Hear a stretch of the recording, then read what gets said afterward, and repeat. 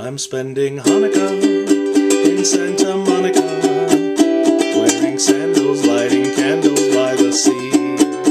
I spent Shavuos in East St. Louis, a charming spot, but clearly not the spot for me. Those eastern winters, I can't endure 'em, so every year I pack my gear and come out here for Purim, Rosh Hashanah. I spent Arizona, and Yom Kippur was down in Mississippi. But in December, there's just one place for me. Amid the California flora, I'll be lighting my menorah. Like a baby in its cradle, I'll be playing with my dreidel. Here's to Judas Maccabeus. Boy, if he could only see us spending Hanukkah in Santa Monica by the sea.